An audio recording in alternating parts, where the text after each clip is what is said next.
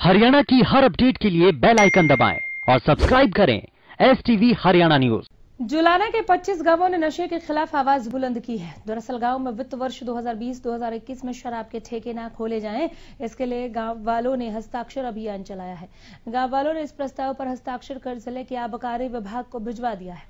आपको बता दें कि सरकार की ओर से कहा गया था कि अगर कोई गाँव अपने क्षेत्र में शराब के ठेके नहीं खुलवाना चाहता तो वो अपने गाँव से एक प्रस्ताव सरकार के पास भेज सकता है, जिसके बाद जुलाना खंड में भारत माता मिशन ने ये बीड़ा उठाया। भारत माता मिशन ने गाँव गाँव जाकर लोगों को जागरूक कर प्रस्ताव भिजवाने का काम किया।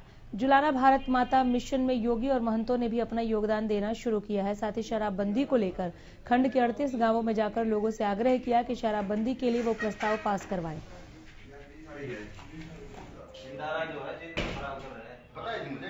अरे आपसे कुछ कुछ मामले हैं जैसे ये साथी लगे हो ना।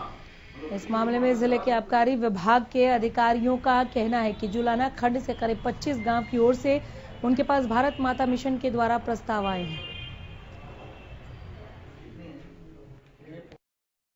देखो, हमने इसके लिए ये किया है कि जो ये पहल शुरू तो सरकार ने की थी, ठीक अच्छा कदम था, लेकिन आम जनता को, पब्लिक को इसके बारे में पता नहीं था कैसे किया जाए।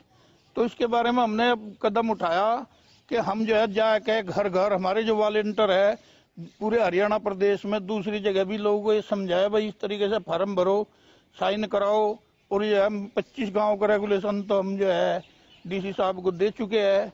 और हमारे पास यहाँ रखा है, उसे हम देंगे। हाँ ब्लॉक से आज हमारे पास 25 गाँवों ने रेजोल्यूशन दिया है, जिसमें उन्होंने ये लिखा है कि इन गाँवों के अंदर ठेके ना खुले जाए। इन सभी प्रस्तावों को हम सरकार पर आगे फॉरवर्ड कर देंगे।